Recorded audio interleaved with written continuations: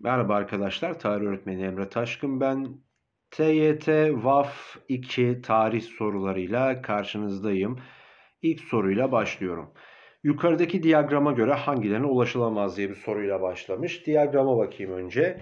İlk çağda Çinliler matbaayı bulmuşlar ve kullanmışlar. Sonra Uygurlar tahta kalıplarda hareketli harf sistemine dayalı matbaa kullanmışlar. En sonda Almanya'da Jean Gutenberg günümüzde kullanılan matbaayı geliştirmiş hangisine ulaşılamaz? Bilim ve tekniğin gelişimi insanlığın ortak ürünüdür diyor. Doğru matbaayı tek bir ulusa addetmemiş. Bakın burada Çinlilerle, Uygurlarla, Almanlarla özdeşleştirmiş ve geliştiğini görüyoruz insanlık e, insanlığın ortak ürünü olarak. O yüzden biri alırım burada. 2. Matbaanın geliştirilmesi skolastik düşünceyi yıkmıştır diyor. Yani bunu alabilir miyiz arkadaşlar burada? Ee, yani alamayız çünkü burada skolastik düşüncelik bir hareket yok. Tamam biz biliyoruz ki Jean Gutenberg'in matbaayı kullanması, geliştirmesi, işte İncil'in çeşitli dillere çevrilmesini ve daha çok basılmasını getiriyor. Ama bu bizim bildiğimiz bilgiler. Bu diyagrama göre bunu çıkaramayız. O zaman bunu alamam. 3'e bakıyorum. Bilim ve teknik gelişmelerin kaynağı Avrupa'dır. Kaynağı Avrupa mı? Burada Asya olduğu yazıyor hatta. İlk çağda Çinliler matbaayı bulmuşlar diyor. Yani Asyalılar bulmuş matbaayı. Almanya'ya en son gelmiş. O zaman burada yanlış olarak kabul edilir ve bize ulaşılamazı sorduğu için burada ulaşılır sadece 1 ama ulaşılamaz 2-3 olduğu için doğru cevabımız Edirne olacaktır birinci sorumuzda. 2'ye bakıyorum. İslam tarihinde hicretten sonra Medine'de görülen uygulamalarının hangilerinde toplumsal uzlaşmayı sağlama amacı vardır? Toplumsal uzlaşma ile alakalı maddeleri bulalım bakalım. Muhacir ve ensar arasında kardeşlik bağının kurulması. Muhacir kim? Muhacir göç edenler, Mekke'den Medine'ye gelenler. Ensar kim? Medine'deki yerleşikler, yerleşik Müslümanlar ve bunları siz Göç edenlerle yerleşikleri kardeş ilan ederseniz bu toplumsal uzlaşı demektir. Birbirine kaynaştırma demektir. O zaman biri alırız. İkiye alabilir miyiz? Yahudilerle şehri birlikte savunacaklarına dair anlaşma yapılması. Bakın gene bir bağ var burada. Bu bağda ne? Yahudilerle beraber Medine'yi savunacağız deniyor. Yani Yahudilerle bir birlik sağlanıyor burada. Evet bu da bir toplumsal uzlaşmadır bu yönüyle baktığımızda. Ama Medine'nin başkent yapılmasının toplumsal uzlaşıyla bir alakası yoktur. Bu sadece başkent, siyasi merkezi belirlenmesi anlamını taşır. O zaman toplumsal uzlaşma başkentte görülmez. Başkent ilan edilmesiyle bir alakası yoktur toplumsal uzlaşmanın.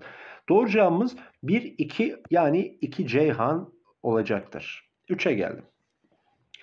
Osmanlı Devleti'nde lonca teşkilatı üye sayısını fiyatları ve kar oranlarını belirler. Esnaf sandığı ile çalışamayan üyelerine yardım eder.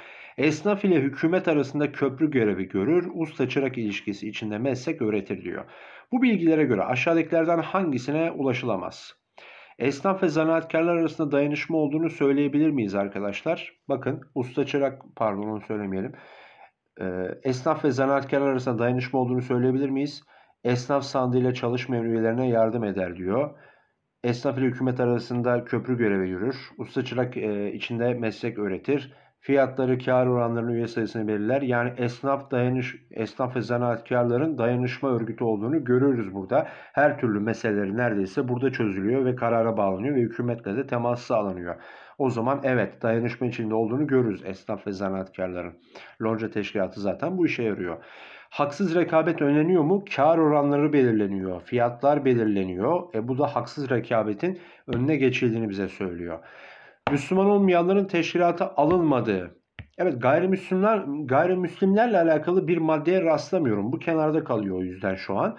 Mesleki eğitim loncalarda veriliyor diyor. Usta çırak ilişkisi aynı zamanda meslek öğretiliyor. İşte bu da mesleki eğitim demek. O zaman D'ye de ulaşırız.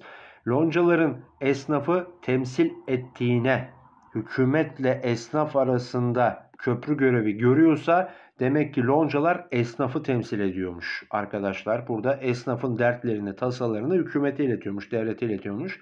Bu da temsil ettiğine kanıttır. Gayrimüslimlerle alakalı maddelerde herhangi bir şey geçmiyor burada. Yani Müslüman olmayanlar teşkilatı alınmıyor, alınıyor. Müslümanların oranı şu, gayrimüslimlerin oranı şu demediği için burada Ceyhan kendini dışarıda bırakan şıkkımız olacak. Yani 3 Ceyhan arkadaşlar. Dörde bakıyorum. İtilaf devletlerinin misak-ı millide yer alan aşağıdaki maddelerden hangisinin tepki gösterdiği söylenemez. İtilaf devletlerini hangisi sinir etmemiştir diye soruyor kısaca bize soru. Mesela uluslar sınırlar içerisinde vatan e, ayrılık, vatan ayrılık kabul edilemez. Yani biz doğrultalım cümleyi.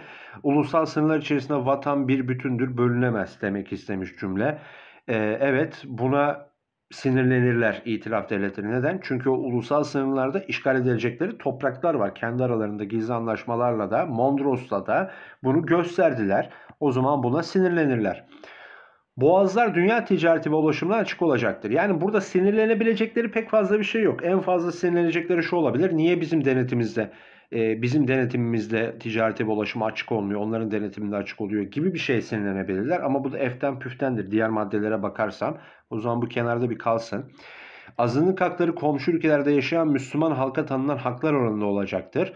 Buna da Osmanlı Devleti'ne tepki göstermiş, sinirlenmişlerdir. Neden? E çünkü siz kim oluyorsunuz? Yenilen bir devletsiniz. Komşu ülkelerdeki Müslümanların haklarını size ne? Azınlıklar içerideki sizin ülkenizde yaşayan azınlıklardan biz sorumluyuz. Size ne? Ne oluyor demeye getirecekler. Buna da sinirlenecekler.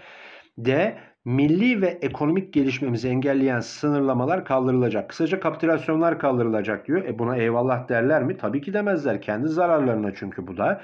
Halk oyu ile ana vatana katılmış olan Kars, Ardahan, Batum'a da gerekirse yine halk oyu yapılacak. Yani işgal edecekleri topraklar arasında Kars, Ardahan, Batum bildiğiniz gibi e, Ermenistan'a, Gürcistan'a bırakılacak topraklardan e, arasında itilaf devletleri güdümünde. E, ama buraları Türklerin e, halk oylamasıyla kaderini belirlenmesini isterler mi? Tabii ki istemezler. Çünkü kumanda onlarda. Bunlar onu görüyor. Ve asla ve asla Osmanlı'nın başını kaldırıp bir şey talep etmesini istemiyorlar. Ama ettiler. İşte misak-ı milli kararları. E, o yüzden de zaten meclisi dağıttılar, kapatmışlardı. Osmanlı işgal ettiklerini duyurmuşlardı resmen. Ve burada öne çıkan cevap Bolu olacaktır. Çünkü da, e, tepki gösterdiği söylenemezi soruyor bize. Boğazlar dünya ticareti ve ulaşımına açık olacaktır. Bu tepki göstermeyecekleri bir şeydir arkadaşlar. Diğer maddelere oranla. Çünkü diğer maddeler direkt olarak işgallerine tepkidir. Ama B doğrudan işgallere tepki olduğunu söyleyemeyiz. En azından onlar açısından en az tepki göstereceği madde diyebiliriz. 4 Bolu şıkkı olacaktır. Göre Memleketin her köşesindeki insanlar hep aynı cevherlerin damarlarıdır. Bu görüş ilkelerinden hangileriyle ilgilidir? Yani söz açık bir söz değil. Ne demek istiyor diye bize soruyor. Hep aynı cevherlerin damarıdır. Madenin damarlarındandır diyor, kollarındandır. Burada arkadaşlar bahsettiği tamam çok açık bir cümle değil ama şöyle bir düşününce e, direkt olarak hangi ilke olduğu ortaya çıkacak. Mesela memleketin her köşesindeki insanlar böyle oy vermek için e, ne diyeyim ben yani cumhuriyet damarı mı taşıyor? Hayır taşımıyor. Mesela devletçilik damarı mı taşıyor? Yani bu hiç alakası olmayan bir şey zaten. Yani ekonominin devlet tarafından yönetilmesi demektir. Bu da değil.